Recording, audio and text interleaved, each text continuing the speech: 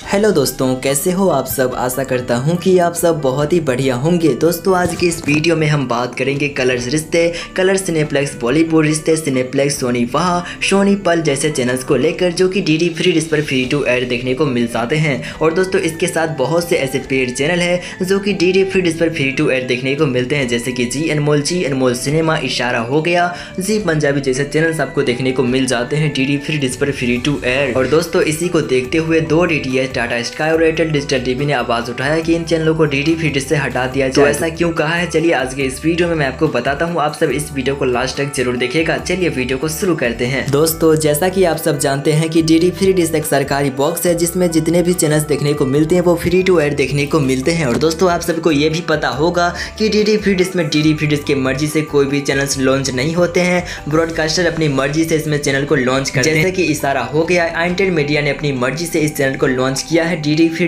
पर। दोस्तों टाटा स्काई और एयरटेल डिजिटल टीवी का कंप्लेन है कि डी डी फ्री में जितने भी पेड चैनल देखने को मिलते हैं, जैसे कि जी अनमोल जी अनमोल सिनेमा सोनी वह सोनी पल कलर्स रिश्ते कलर सिनेप्लेक्स बॉलीवुड रिश्ते सिनेप्लेक्स इशारा टीवी इन सभी चैनल्स को बंद कर दिया जाए। इन्होंने इसीलिए ऐसा कहा है क्योंकि उनके भी ग्राहक मांग कर रहे हैं कि डी डी फ्री में जितने भी पेड चैनल देखने को मिलते हैं, जैसे कि हो गया कलर्स रिश्ते कलर सिनेप्लेक्स बॉलीवुड रिश्ते Cineplex Sony Pal Zee Anmol Zee Anmol cinema Sony boss Sony Pal जैसे चैनल्स को उनके भी सेट बॉक्स में फ्री टू एयर कर दे।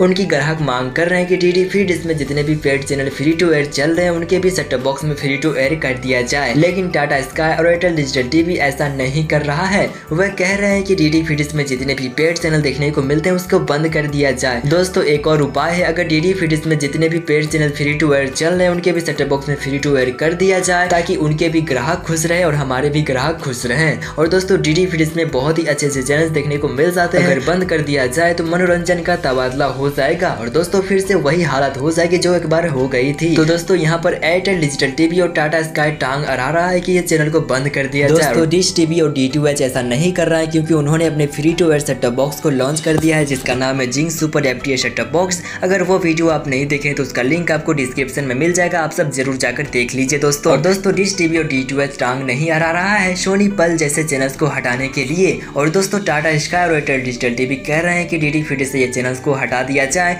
लेकिन अभी तक कोई भी फैसला नहीं लिया गया है। ट्राई की ओर से देखते हैं आगे क्या होता है। अगर ये चैनल्स को बंद कर दिया जाए तो आप सभी के लिए बहुत ही बुरी बात हो जाएगी क्योंकि डी डी में जो मनोरंजन है वो बहुत ही कम हो जाएगी। तो देखते हैं कि आगे क्या होता है। ब्रॉडकास्टर अपने चैनल्स को हटाते हैं या फिर नहीं। और दोस्तों एक बहुत ही अच्छा उपाय है एयरटेल डिजिटल टीवी और टाटा स्काई जी अनमोल जैसे चैनल्स को उनमें फ्री टू वेयर कर दे ताकि उनके भी ग्राहक खुश रहे और डी डी फिटिस के ग्राहक भी खुश रहे। तो दोस्तों आज के इस वीडियो में बस इतना ही। देखते हैं कि आगे क्या होता है। दोस्तों आप सब इस वीडियो को लाइक और शेयर कर दीजिए। चैनल को भी सब्सक्राइब कर लीजिए। वीडियो को लास्ट तक देखने के लिए धन्यवाद।